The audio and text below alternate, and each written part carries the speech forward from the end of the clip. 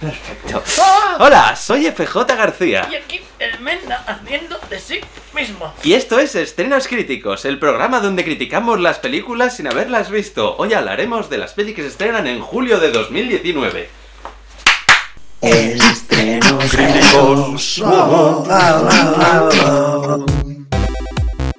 Llevo horas investigando las pelis que se van a estrenar en julio y en agosto y tengo unas ganas de ir al cine porque llevo sin ir al cine como un mes. Tengo unas ganas tremendas de irlas a ver todas, menos la primera de la que vamos a hablar, porque hoy vamos a hablar de El Rey León. Los comentaristas dicen que quizá no deberías gritar tanto. ¡Fuck you! Spider-Man lejos de casa, Annabelle regresa a casa, ¿Otra vez? Serenity, ¿Otra vez? Midsommar, Padre no hay más que uno, 522, un gato, un chino y mi padre, El Cano y Magallanes, la primera vuelta al mundo, eh, Utoya 22 de julio y Apolo 11, que es la décima de la que vamos a hablar. Va a haber tres películas que se estrenan en julio, las cuales no vamos a hablar en este vídeo, que son, pues, por lo siguiente, son Venganza Bajo Cero, porque ya hablamos de ello en la de Liam Neeson, esta, que es como Venganza 4, pero que no es Venganza 4. Sí, que hemos puesto venganza porque nos ha dado la puta gana. No vamos a hablar de Crawl, Infierno Bajo el Agua, porque se estrena en Estados Unidos en julio, pero aquí en agosto. Y Oh. tampoco vamos a hablar de Once Upon a Time in Hollywood. Eras una vez en Hollywood por exactamente lo mismo, porque aunque en Estados Unidos la tienen en julio, nosotros nos tenemos que esperar hasta el 15 de agosto, con los ganas que tengo yo de verlo. ¡Ugh! ¡Ah! Yo.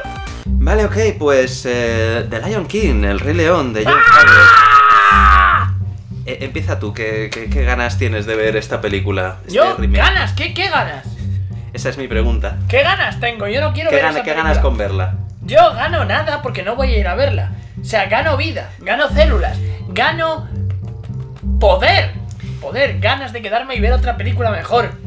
O sea, Pues- ¿qué, qué ganas tú por ir a verla? Yo, yo es que no quiero ir a verla. Este es el tercer remake en acción real de una película de Disney que No, se estrena ya solamente este año, excepto que no es un remake en acción real, Exacto, no sé. es animación...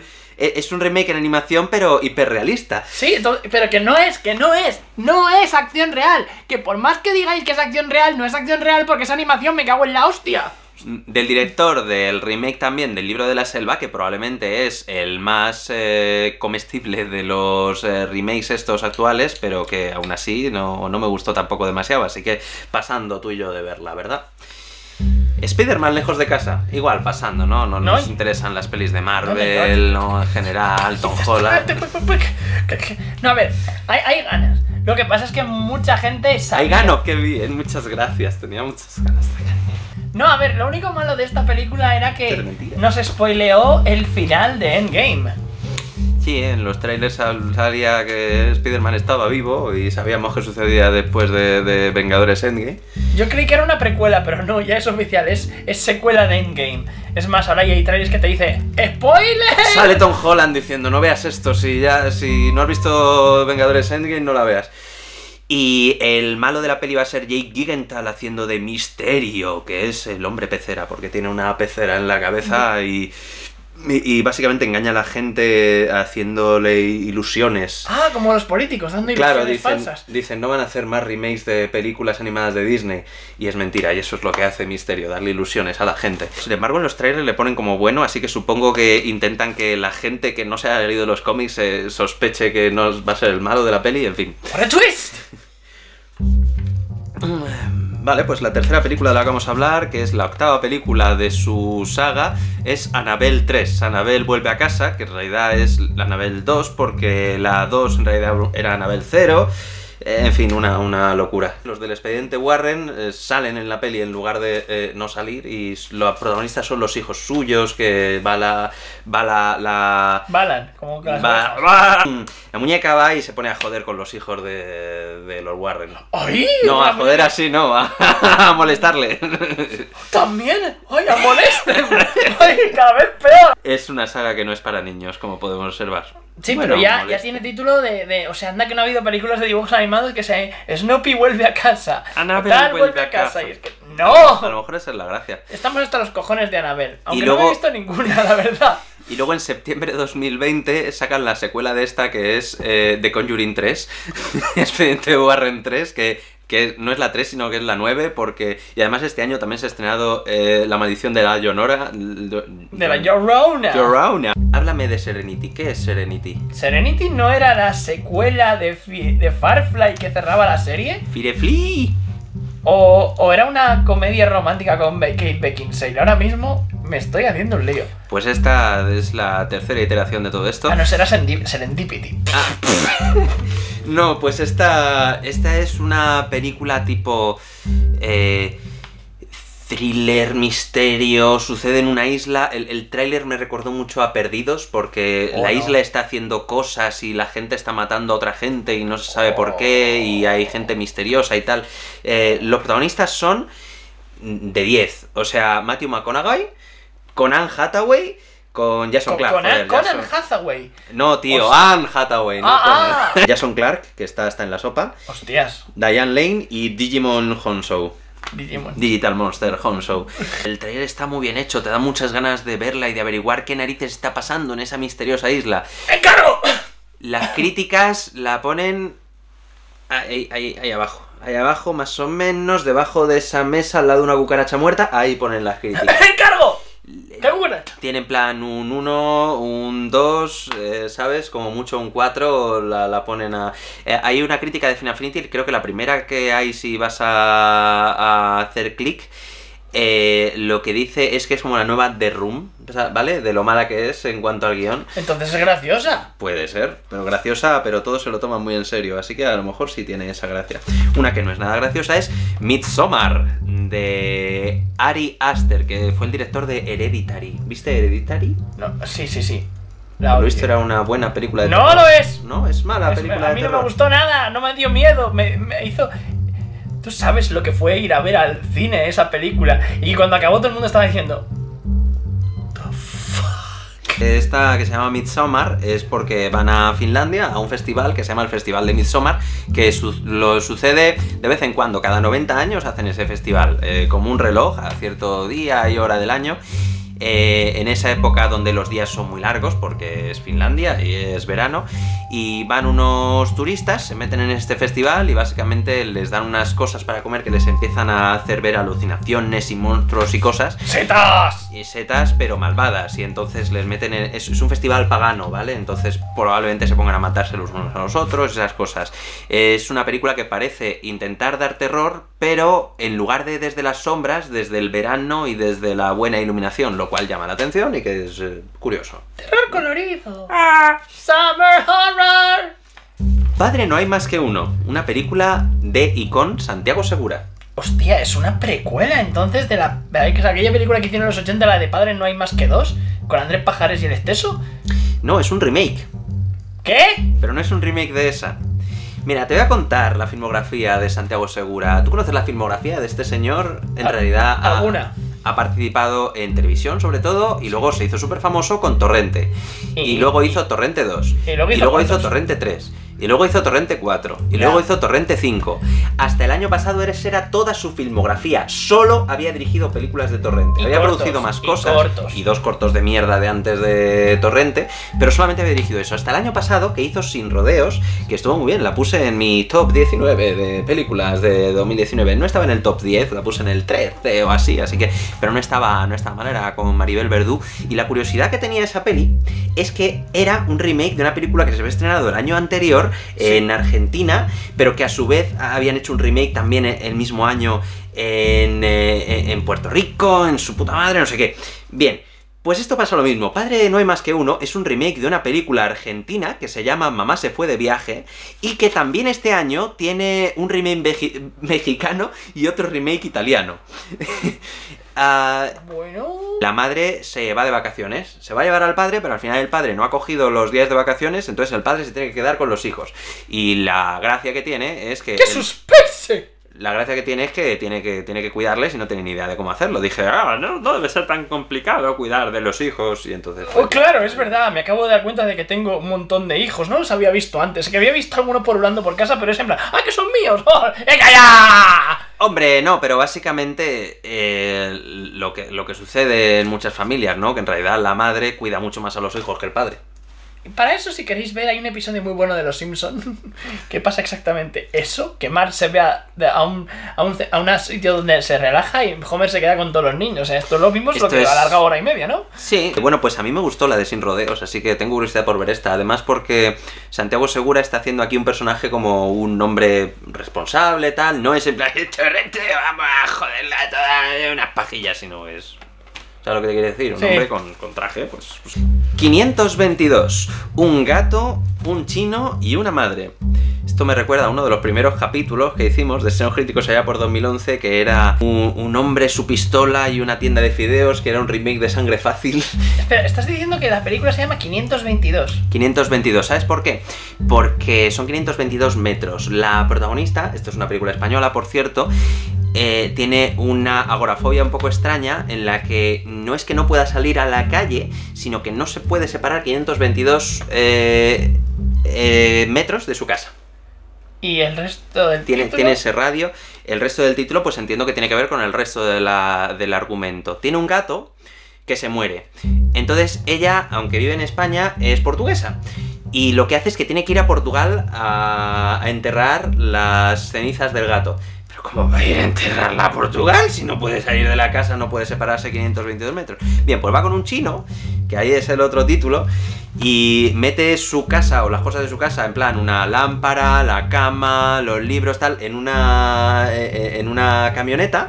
Y de ahí se van de viaje a Portugal y pasan las historias. No se puede separar más de 522 metros de la furgoneta. ¿Y de dónde es la peli? Española. ¡Oh! Es española. Pues tiene es- un título de. Entra uno a un bar y, y llega un chino y con un gato y a 522 metros el uno del otro. Es que parece un chiste. Protagonizada por Natalia de Molina y Ah. Alberto Jolé, que es el chino. Alberto Jolí o Jolí o Jolí Jolí. ¿Qué te parece si hablamos de otra película española? Tres películas españolas seguidas, macho. Esto ya no parece estrenos críticos donde solamente hablamos de pelis americanas. Esto es mierda y además una española de animación. El Cano y Magallanes, la primera vuelta al mundo. ¡Oh! Esta, esta me llama mucho la atención y probablemente la vea, no sé si en el cine, pero la terminaré viendo si la suben por streaming o algo, porque desde que me lo enseñaron en clase de historia cuando era pequeño, nunca he entendido por qué no hay una película eh, de gran presupuesto sobre, sobre la primera vuelta al mundo, que fue la de Fernando de Magallanes, aunque en realidad la terminó eh, Juan Sebastián Elcano. En plan, ¿por qué no hacen una peli al estilo de Master and Commander? O me he visto una serie buenísima hace nada que se llama The Terror, que trata sobre unos en el siglo XIX que desaparecieron con su barco en el Ártico. Buenísima, muy bien ambientada. Pues si hicieran algo así y sin embargo... Ahora por fin han hecho una peli, pero es de animación, es española y, está, eh, está como muy suavizado. O sea, estamos hablando de una expedición en la que salieron 270 personas y 5 barcos de España, ¿vale? Y para cuando volvieron a España eran 18 personas y un solo barco. Se han muerto todos en, eh, en el viaje. Es concretamente cuando se pararon por Filipinas y les empezaron a lanzar flechas y tal. En plan, eh, sufrieron un escorbuto, falta de comida, eh, motines, eh, lo pasaron de puta pena y no creo que en una película de dibujos animados para toda la familia esto se represente bien. No sé si me explico. Pero es para toda la familia. eh, La peli es absolutamente como en plan para toda la familia. Es como si lo hubiera hecho Funimation. ¿Sabes lo que te quiero decir? Eh, eh, Fernando de Magallanes sale así como gordito, tal. El Juan Sebastián Elcano sale como si fuera uno de los protas del Dorado, por ejemplo, ¿sabes? En plan yendo con el caballo por los edificios. se va a cabrear. Quiero decir, y, y tiene malo la película, o sea, un tío que se infiltra, pero que se sabe que es malo porque está diseñado. ¿Sabes lo que te quiero. Eh, Sí, es un, es un cliché detrás de otro. Eh, en plan, sale en el póster una, un- una, una tipa de Filipinas ahí con la que se lía Sebastián Elcano. O sea, es muy infantiloide, ¿verdad? Y me gustará verla por ver qué narices hacen, pero preferiría que hicieran algo más serio, ¿no? Eh, ¿Qué más? Utoya, 22 de julio. Vamos a hablar de una película noruega. Esta está grabada en un solo plano secuencia, la película entera ¡Hostias! ¡Otra! es una, es una representación de algo que pasó de verdad el 22 de julio de 2011, que fue un ataque eh, terrorista, no, un tío que se volvió loco, era un cristiano, que de alguna manera para... Decía él que para demostrar que los musulmanes son unos hijos de puta, dijo, pues yo voy a ser más hijo de puta todavía. Y en el mismo día le puso una bomba al primer ministro noruego, pero es que además cogió y fue a una isla que es Utoya, donde había unos jóvenes acampando tranquilamente, y se puso a disparar a todo Cristo. Entonces la película, en plano secuencia, sigue a uno de esos, a una de esas jóvenes y, y cuenta todo lo brutal que sucedió allí. Noruega. Oye, pues me llama muchísimo la atención, Sí, ¿eh? sí. Además, hay muy pocas películas que se hayan hecho así. En plan, con un solo plano. Parece ser que al principio tiene dos planos en plan para mostrar lo del primer ministro, pero que aparte de eso enseguida se va con la chica esta. Pero tiene que ser además muy dura, muy dura, muy dura. O sea, casi... Sí, casi documental, aunque sea... Es ficción representando la realidad. Interesante. Y luego por último vamos a hablar de un documental. Eh, nuestra décima película es Apolo 11. Es un... ¡Una precuela! Es una precuela. ¿Una obviamente. precuela de qué? De Apolo 13. de. Apolo 13 Sí. y es un remake de, de mm, El primer hombre de First Man, el Ah. primer hombre que fue a la luna, está Ah. con Ryan Gosling, ¿no? Es, oh, sí, sí. es la misma historia, es Apolo, Contada Apolo con, 11. en plan documental, supongo. Claro, contada en plan documental. Esta es eh, esta es una producción de la NASA, me parece, que ha puesto pasta para este documental y ha puesto, entiendo, que lo- los propios fragmentos de vídeo y de, entrevistas para poner en, en la propia peli. Y viene muy, a, viene muy a cuento porque han anunciado hace nada que vamos a volver a la Luna. Va a volver a la Luna la NASA. Que ya es hora, porque llevamos sin pisarla desde 1972. Eh, Yo creo que estará más o menos igual, ¿eh? O sea, o sea yo, yo no creo que de repente haya. ¡Ay! ¿Dónde estabais? ¡Joder, los que habéis tardado en venir a buscarme! Apolo 13 tendrá un estreno limitado en España entre el 16 y el 20 de... Apolo 11 tendrá un estreno limitado en España entre el 16 y el 20 de julio de 2011, no, de 2019. Pues nada, ¿cuál es la película que más ganas tienes de ver? Pues. Digamos que. U- Utopia. Utopia a lo mejor.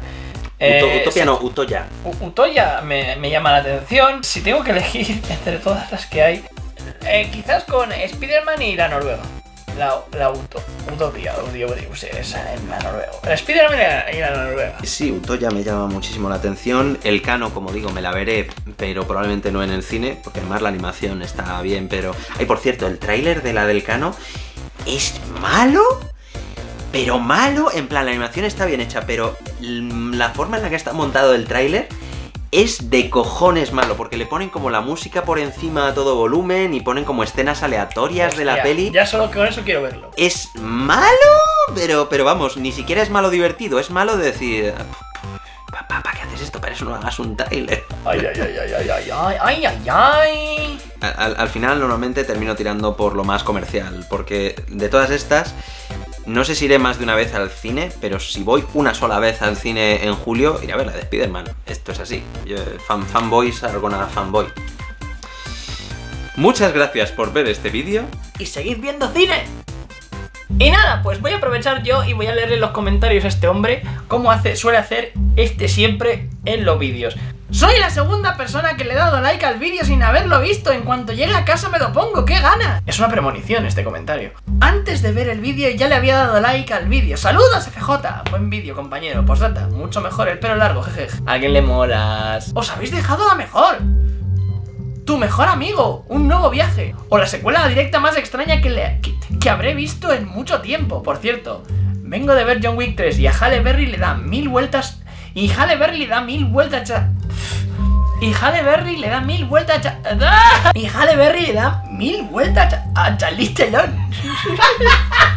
Y Halle Berry le da mil vueltas a Charlize Theron en Atómica.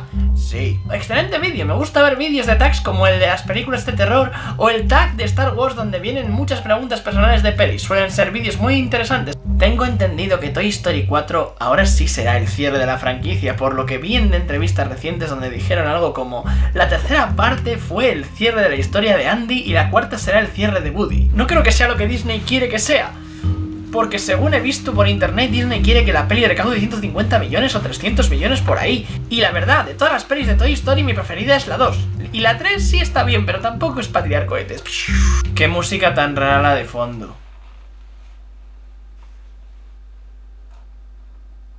So sorry. Por Dios, dime que llevas unas bermudas con medio smoking. Oye, David, ¿has visto mis bermudas? Ah, coño, que está grabando. Hey, muchas gracias por ver este vídeo.